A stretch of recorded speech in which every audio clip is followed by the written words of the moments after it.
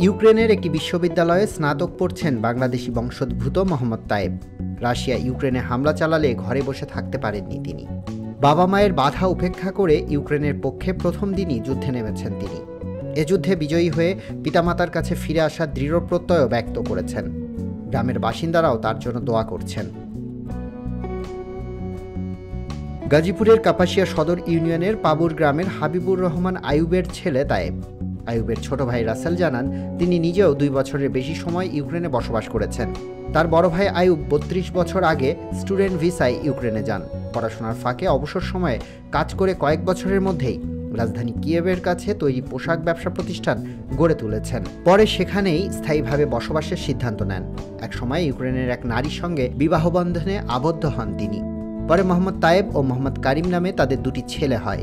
আয়ুব তার দুই ছেলে এবং স্ত্রীকে বাংলা ভাষা শিখিয়েছেন এবং স্ত্রী সন্তানদের নিয়ে দুই দফা দেশে এসে কয়েক মাস কাটিয়ে গেছেন।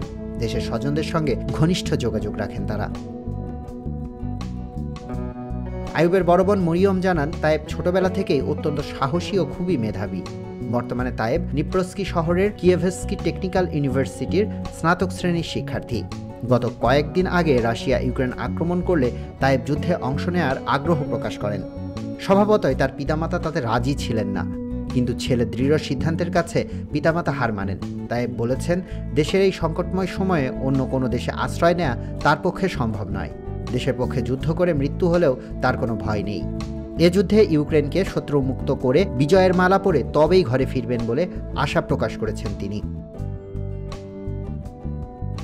মরিয়ম জানান, প্রতিবেশী বিভিন্ন দেশ থেকে তাদের স্বজনরা তার ভাই ও পরিবারের সদস্যদের আশ্রয় দেওয়ার আগ্রহ দেখালেও ছেলের মায়ায় ইউক্রেন ছেড়ে কোথাও যাননি। খেয়ে না খেয়ে জীবন বাজি রেখে রাতের বেলা মাটির নিচের বাংকারে এবং দিনের বেলায় কিছুটা নিরাপদ স্থানে আত্মগোপনে চলে যান তারা।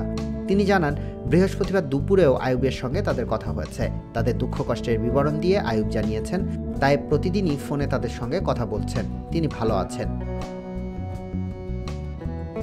আইয়ুবের চাচাতো ভাই আব্দুল আলিম জানান, তাদের ভাতিজা তায়েব যুদ্ধে অংশ নিয়ে যে বীরত্বের পরিচয় দিয়েছেন, তাতে তারা গর্বিত।